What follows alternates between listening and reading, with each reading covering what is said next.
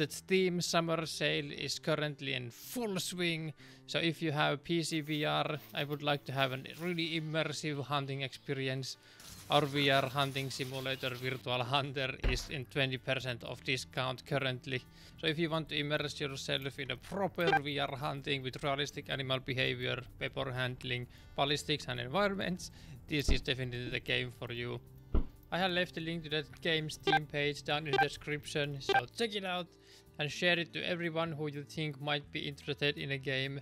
I would really appreciate that a lot.